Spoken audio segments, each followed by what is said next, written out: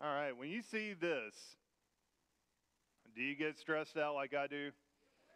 Exactly, you do. This is the worst part of traveling is when you, especially living here. Let's this I think this is 81. If it's not 81, it's 95. I mean, it's just like it's the worst thing where you're you know, you're cruising, you're making great time. The GPS is saying, yeah, you're going to get to your destination. You can't wait to get to the beach or to the mountain or to the airport, wherever you're going, or to grandma's house. And then you go over that hill and then you see this. Or you see, or worse, you do the curve and you start seeing the brake lights and you're just like, oh no. What is it and how long and I'm to be here? Why is it so irritating? Because it's forcing us to wait. And waiting can be very annoying. If you don't, if this doesn't resonate with you, think about the grocery store and it's not as much now with self checkout, but remember when you know you go to the checkout lane and you see oh they've got three lanes open, and as you're approaching, you're like, which one is the shortest? Which one is going to cause me to wait the least? And then you get in that line, and then I don't know if you do this. Don't you keep checking the other lines just to see if you're right? Be like, hey, uh, hey, uh, I think I'm beating that. Oh, I was at. I think I'm beating them. oh, they got in front of me. What? Do you not know how to fill out a check? Let's get this moving. Waiting is difficult. And what we've been talking about, the church, we are waiting. We're waiting on Jesus to come back. And we've been looking at Second Peter. That's where we're going to be today. We're going to finish the book of Second Peter. So if you have your Bibles, I encourage you to open them and join us reading there. If you don't, don't worry. The scripture will be on the screen.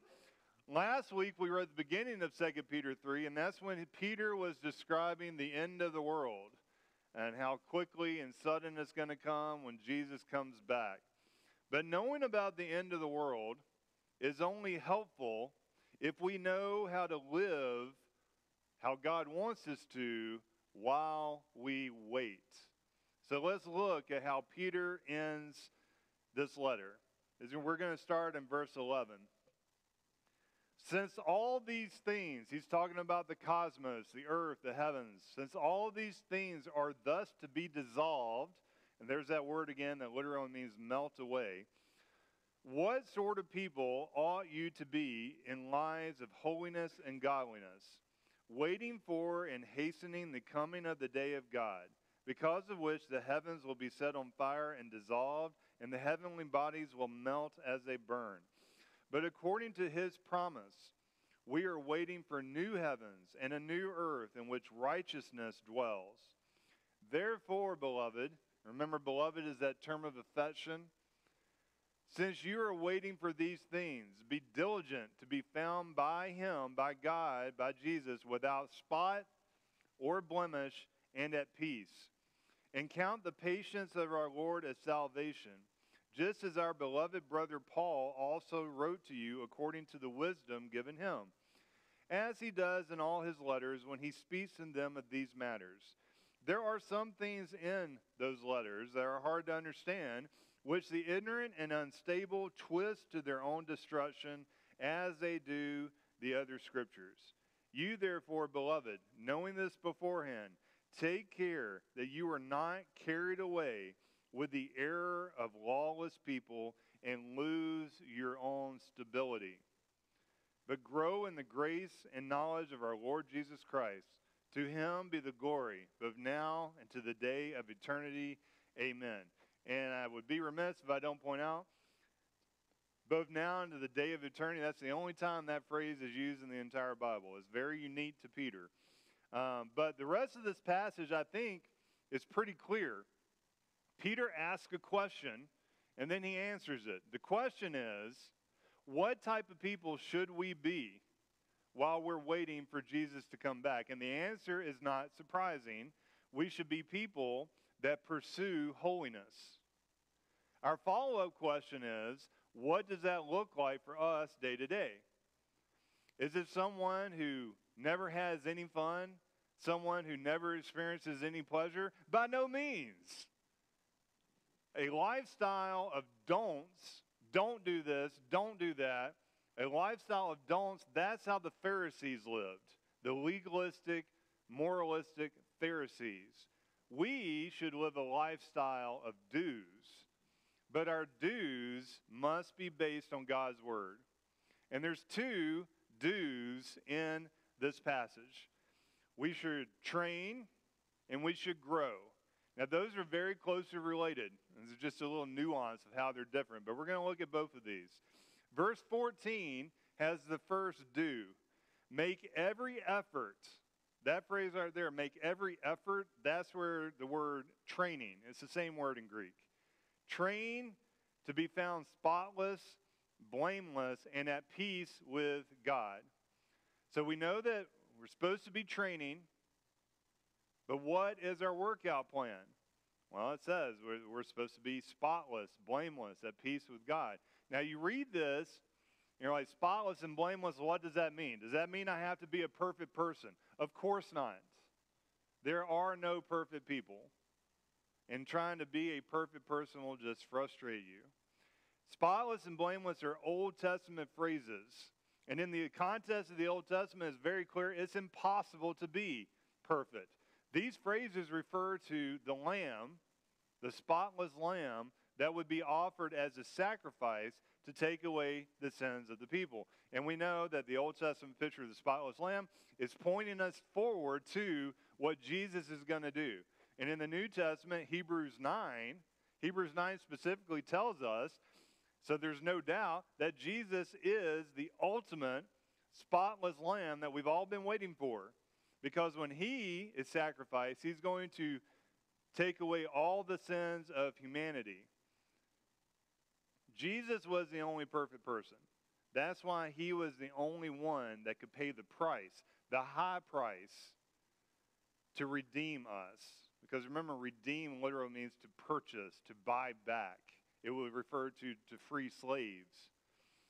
So when the New Testament uses spotless and blameless, it's obviously referring to someone who is redeemed by Jesus.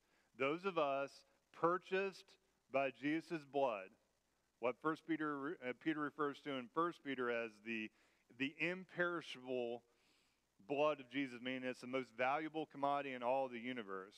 Someone who is saved. So, positionally, we are saved. We change. We cross over from death to life. And that is the only way, in that moment when we completely change, we become a new person, we're found in Jesus, that's the only way we can experience peace with God. If we're found in Christ, that means we can look forward to Jesus coming back in eager anticipation. Whereas everybody else, the wicked, those without Jesus, is something to be afraid of. It's something to be feared when Jesus comes back because they are going to experience God's wrath, whereas we, those of us redeemed in Christ, will experience peace and joy. But the question then is how do you train to be blameless and spotless? Because that's what Peter is telling us to do. Well, Peter mentions Paul in this section. And I'm going to quote some Paul to show you how aligned they are with their teachings. Um, they couldn't be more different as people, but their teachings were the same because they were both being inspired by the Holy Spirit. They both teach us that one way we train ourselves to be blameless and spotless is to focus on the second coming of Jesus. You got to keep your eye on the ball. You got to keep your goal in place. That is what we're working towards. This is Peter's version. This whole part of this chapter is Peter's version. So let's read Paul's version. Paul's version is in Titus 2. Now, this is just one example of Paul talking about focusing on Jesus coming back. This is what Scripture says For the grace of God has appeared, bringing salvation for all people training us to renounce ungodliness and worldly passions. See that? Training us to renounce ungodliness and worldly passions and to live self controlled, upright, and godly lives in this present age. This present age, while we wait for our blessed hope, the appearing of the glory of our great God and Savior Jesus Christ. So they're both telling us Jesus is coming back. How are we supposed to live? Is both saying that we should have a lifestyle that does not look like the world we live in. It, we should be different. Our lifestyle should look like the world that is coming when Jesus comes back. And what does that world look like? That world is where holiness is going to reign. So we need to pursue holiness. Or like Paul says in Philippians 2, be blameless. He's using the same word, be blameless children of God. So that why? So that you can shine as you live alongside a dark and wicked, corrupt generation. And I want to be clear this does not come naturally. Because we're still weighed down, because we live in a broken world, we still battle our sinful desires, and so we that's why we have to be intentional with our training to pursue holiness. Because think about it like this we are reborn in Christ, right? We're born again. You've heard that terminology. We're born, we're reborn in Christ. So we need to think about ourselves like we would a baby. A baby's born, and then what happens? The baby learns how to cry. They know that immediately. The baby learns how to eat. The baby eventually learns how to sleep. That's right, new parents. Eventually, that baby will sleep. The baby eventually learns how to talk. The baby eventually learns how to walk, and so on and so forth. And that's basically what he's saying we do. We, as new babies in Christ, we need to go through the same thing. We need to learn how to eat. To start with, we need to just snorkel on the surface of the water of the gospel. But then as we grow, we need to dive deeper and scuba dive into the depths of the gospel truth. That's why there's that one passage where he says, you know, you should be eating meat, but you're still drinking milk. What's up with you? Because you're not being intentional with your training. We also need to learn how to walk. How? Walk in holiness. Because you need to understand, neither Paul nor Peter assume that the salvation we receive when we're positionally saved is going to automatically produce godliness. That's not what the New Testament teaches. The New Testament teaches that we have, that we will train ourselves, we will grow, and we will change and become more and more like Jesus. So think about when I when you see this word training, think about it as gradual gradual progression toward being more like Jesus. And what's Jesus like? What's Jesus like? He's blameless. He's spotless. He's holy. In First Peter, God commands us. It's very it's right before the passage that Josh uh, read, and we didn't plan that. In First Peter, God commands us what? To be holy. Why? Because I am holy. You're my people. You're my children. You belong to me. You should talk like your parent. How do your kids learn to talk? Listening to us. And so they talk like us. How do your kids learn to walk? By you doing this, right? And so he's saying the same thing. You need to learn to talk like me and walk like me. God, why? Because God cannot negotiate with the holiness of his own being. What do I mean by that? His holiness, God's holiness, does not allow him to overlook sin. He's not going to just turn a blind eye to your sin to somehow prove that he really loves you. No more than a parent would do that if their baby, their young child, their toddler, their teenager is about to do something that's going to hurt themselves. What do you do? You stop them. Same thing. We don't just let the kid burn their hand on the stove be like, hey, does that prove I really love you because you really wanted to touch that stove? No, we stop them. God's doing the same thing. He's, like, he's saying, I want to stop you. I can't tolerate sin. It's because he loves us that he wants us to avoid sin. Why? Because he knows that sin will eventually destroy each and every one of us. And so, as we train, as we grow, we need to get into the habit of mourning, mourning our sin. I don't think enough of us take our sin seriously enough. I think too many of us try to rationalize our sin. But we cannot treat our sin as insignificant. Why? Because God cannot treat our sin insignificant. And if you want to know how serious sin is, look at the cross. How do you know how, how much something is worth? Well, you look at the price that was paid. What price was paid to take away the sin of the world? The perfect, blameless, spotless Son of God who left the throne of heaven and lived perfectly as one of us. Perfectly. He never sinned. He never said he never got mad unjustly. He never had a wicked thought. He never treated somebody with disrespect. He always put up with annoying people. He lived perfectly. And then he died on the cross. That's how much sin cost God. For him to die in our place, for his perfect son to die instead of us. So he cannot take sin lightly, and we shouldn't either. And I said it last week, and I'll repeat it because apparently, based on the feedback I got, a lot of you need to hear this. And I need to hear it too. I need to remind myself that when we continue doing things that we know are sinful, we are mocking God. It's that simple.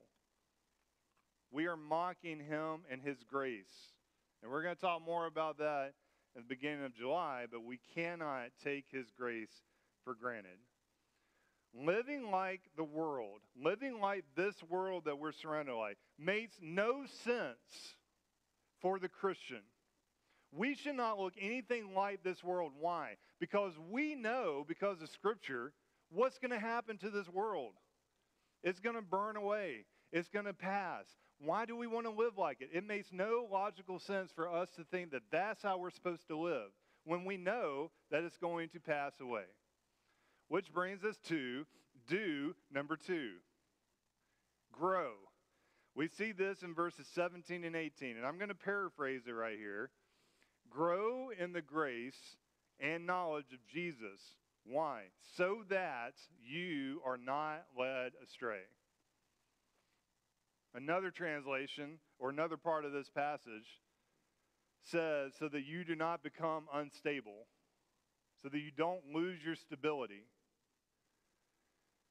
The stability is talking about standing firm. It's the whole theme of our VBS, Breaker Rock Beach. Did you listen to what the video said? We live in a world of shifting sands where there is no truth, where everything is relative, where there's so many mixed messages that people are brainwashing kids with.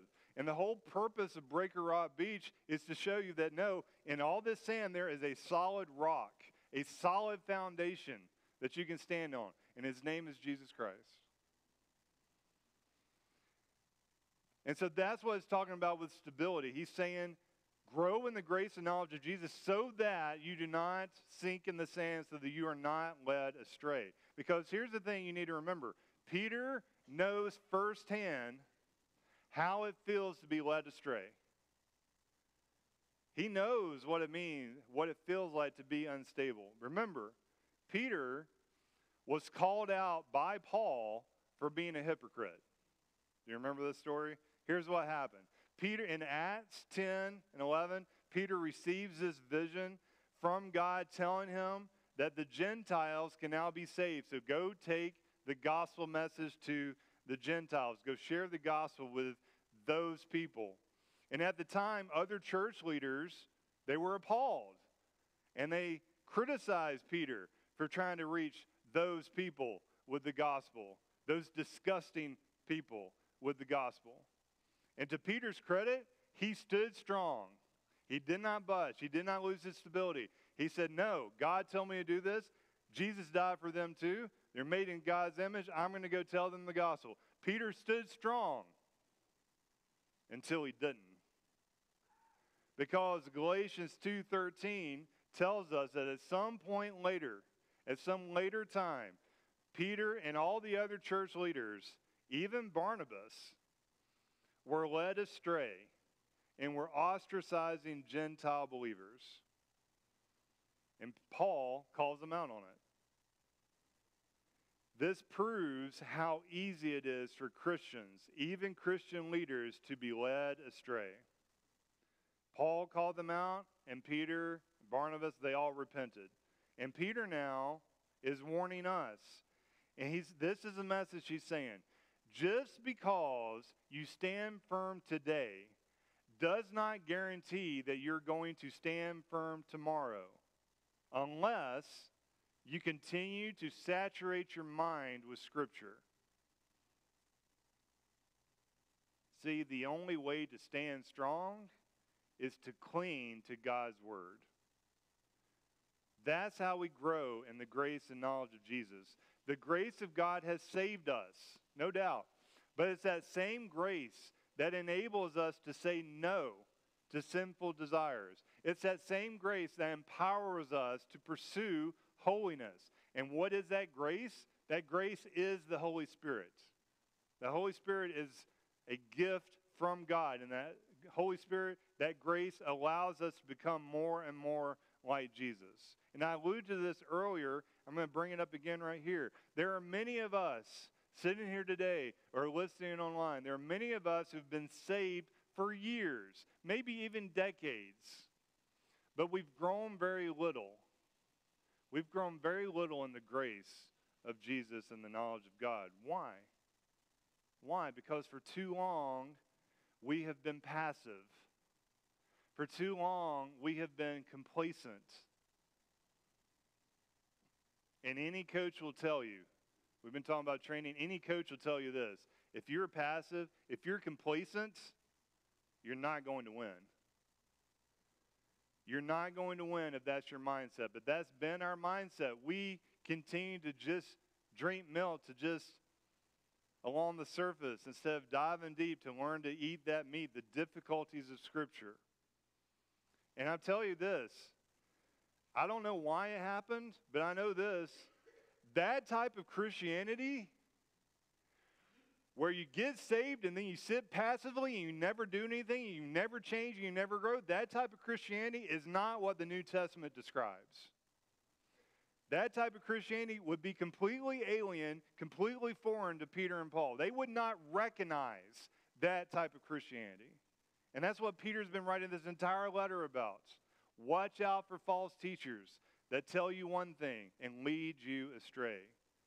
So if we want to know what does it look like for a Christian to grow in grace? Well, just read Galatians 5, 22 through 23. It says that we're talking about the Spirit as the grace. The fruit of the Spirit is love, is joy, peace, patience, kindness, goodness, faithfulness, gentleness, self control.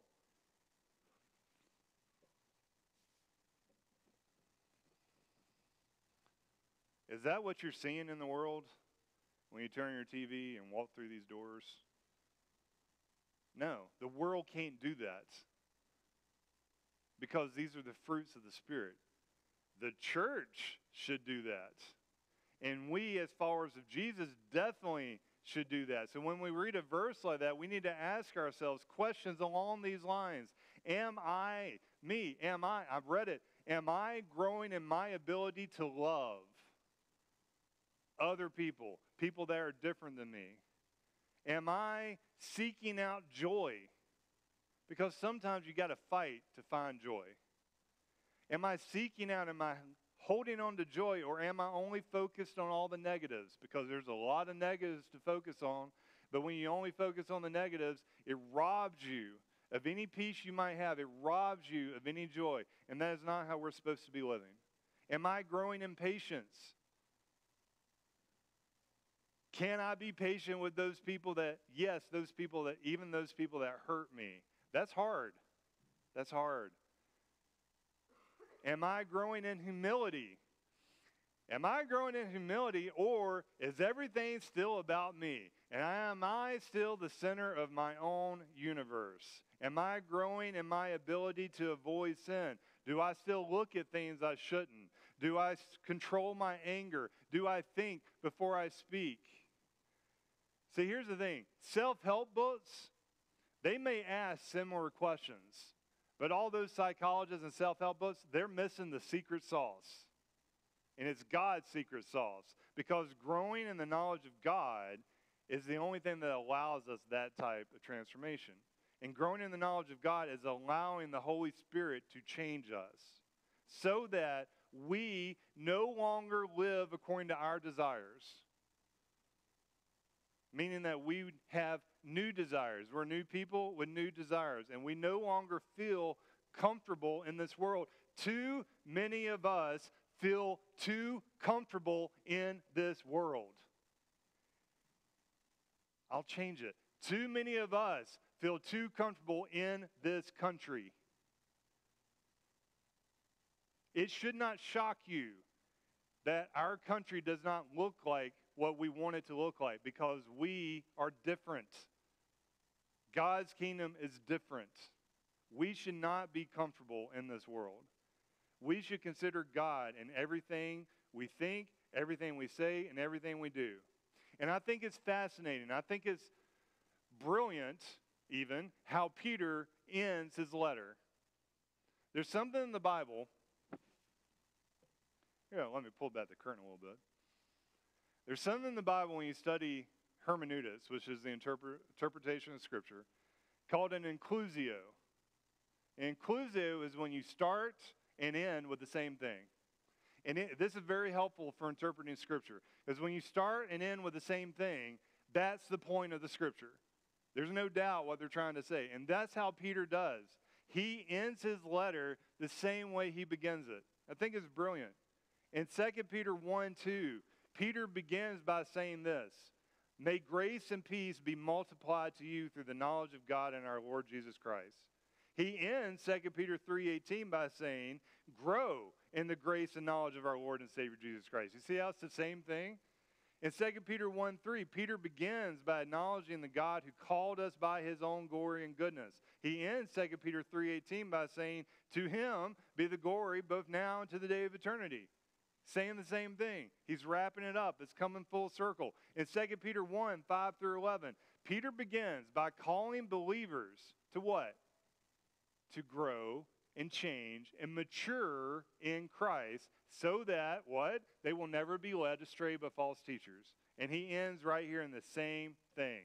2 Peter 3 17 and 18, he's doing the same thing. He's calling us grow in the grace and knowledge of Jesus so that we are not led astray.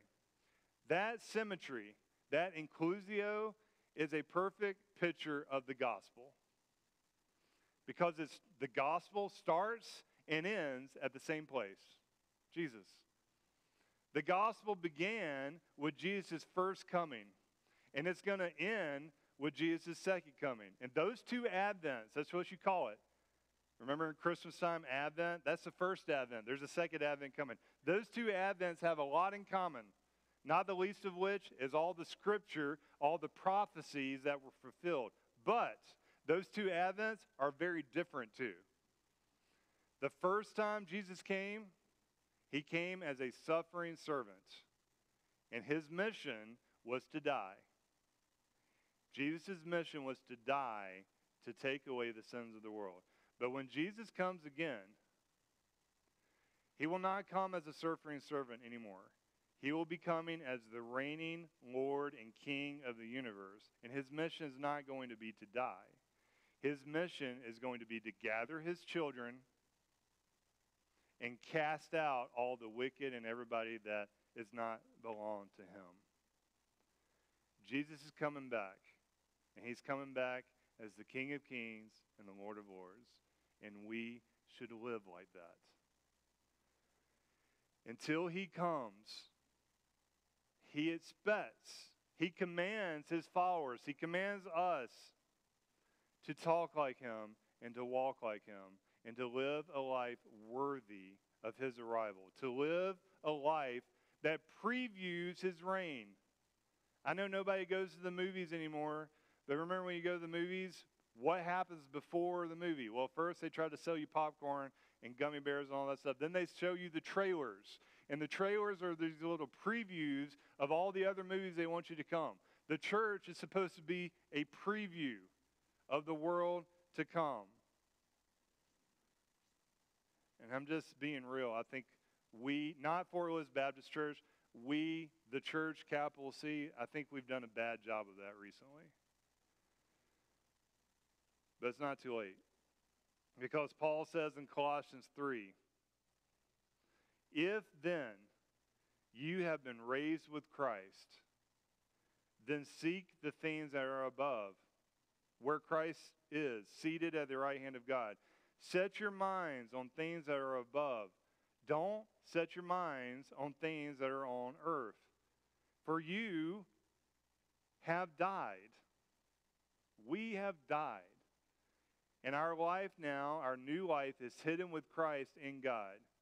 When Christ, who is your life, appears, then you also will appear with him in glory. I can't even imagine what that will look like.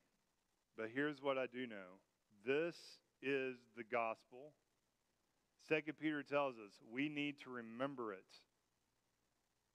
We need to live it. Let's pray.